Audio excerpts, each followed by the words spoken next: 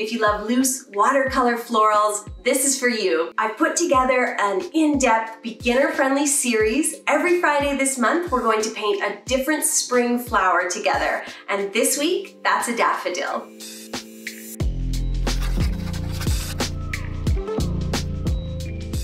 Hello, my friends. Welcome. My name is Shayda Campbell, and today we are painting daffodils. I can't wait to show you step by step how to paint this beautiful spring flower. If you're a total beginner, that's awesome. This is the perfect, like, loose watercolor floral content. If you need that extra bit of help, I have a daffodil watercolor worksheet available. It's on my Patreon site. You can sign up there. It's two bucks a month. You can sign up for as long or as short as you like. Download some of this extra helpful content and support the channel while you're at it. Okay, let's get started. For our supplies today, we have hot pressed paper. It has a wonderfully smooth texture, and that's why I love it. The practice piece that I did here was done on hot pressed, and I just really like the way that the paint settles into the paper in these weird, wonderful ways. I also have a color swatch, and all those specifics are listed on the worksheet. You're gonna want paints. I'm using my Mungyo set. Supplies are linked in the video description. As for brushes, you need a large and a small round brush. My large is a number eight, my small is a number four. And these brushes I've been using a lot. They're from Princeton, and those again are linked in the description. You can purchase them on Amazon. Okay, let's do colors really quick. I am using uh, Naples Yellow, and I have just wet my brush and I'm scrubbing at the cake of paint, bringing that pigment over to my palette. I'm also using Jaune Brilliant. Uh, for the peachy color here, I'm using Yellow Orange and Jaune Brilliant, and I like the way it gives me this peachy orange that's not too like crazy bright orange. Then finally for my green, I have mixed olive brown with a little bit of sap green and it's giving me this green that's very warm and springy and I really like it. You could also try mixing yellow green in there. That would be a nice color. And uh, I think that's about it. Let's start our daffodil painting. So here we go with our Naples yellow in the larger round brush. I'm going to paint this one petal at a time and you just add a bit of pressure to the brush and make that messy petal shape. And I tend to paint those top three petals first. Make them fluid and organic and very perfectly imperfect. One could be a little large, it doesn't matter. And then we paint the bottom two petals, just kind of pulling that brush across the page, running it around, making a big big messy shape, and I'll complete that by maybe just connecting those petals a little bit in the center. Okay, let's paint another one. Let's do two daffodils. This one's gonna be on a bit of an angle, just like the practice work that you see there. I'm gonna start again with the top petal, just big random organic shapes, and then we'll do the side petal and then just one petal at the bottom. And that's really all you need for the daffodil that's kind of angled away from your viewer. It's the side profile.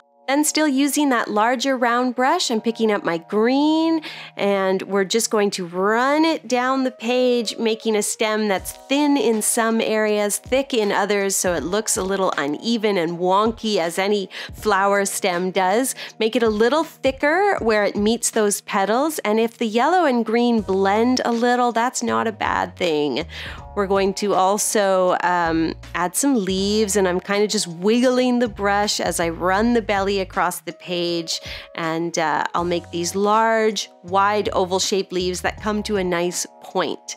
And I like, as I said, the way the paint settles into the hot pressed paper. It might be a little bit more uh, transparent in some spots. It might have a dark spot that settles. That's not a bad thing. I think that's a good thing. That's what I love about loose watercolor flowers. You're not being too precise about things. You never know quite how things are going to go. At least I don't. okay, next step with that smaller round brush, we pick up our peachy orange and we're going to paint a little circle here made up of tiny little lines, and that is going to be the stamen for that first daffodil. And if the orange blends a little with the yellow, that's okay. If the yellow's already totally dry, that's okay too. Then for the daffodil on an angle, we get to show that long conical stamen. So I'm sort of running the brush across the page the way I would for a petal and trying to make this cone shape. Then I use the tip of the brush to do those little tiny lines um, just across the top of that cone. And I'm kind of just working out the shape a little bit. Again, it's loose, it doesn't need to be too perfect. So now we let that dry. You want those petals to be totally dry because the next thing we're going to do is add some detail using a wet on dry technique. And now I'm taking my yellow ochre or Naples yellow and I'm mixed it with a bit of that orange and I've got a slightly darker color here. You could also use raw sienna for this. And we're just using our small paintbrush to add some little shading lines near the stamen to show that the flower is a little bit concave and we're adding some lines on the petals to show that the petals are, are textured and that they're not flat and they're not at all cartoon-like. And then we're going to take a darker orange. You can either just have a more concentrated paint or you could mix a little red in or whatever. And we're going to just darken the um, the little ruffles on the tip of the stamen. So darkening those little lines around the uh, the circle of that stamen. And then same thing for the stems. Just grab a darker green. You can mix a little orange into the green or just use a green with less water and add a bit of shading near the flower where the light wouldn't hit as naturally on the stem or put a little dark splotch at the base of the leaf or at the top of the leaf. It's totally up to you. When you're painting this wet on dry, you can decide how precise you want to get, but you definitely have the ability to get quite precise. It just depends how loose you like your florals to look, and that's all part of developing your own style. But that's my daffodil pretty much all done, and I'm quite happy with it. Remember, friends, if you're getting started with watercolor florals and you want a worksheet to help you through this daffodil, that is available on my Patreon site. And all the content, there's four years of content now, is just $2 a month. Finally, don't forget to hit that subscribe button because this month I am sharing a different spring floral every Friday. If you're new to watercolor flowers, this is the kind of content you don't want to miss. Thanks for watching, and I'll see you soon.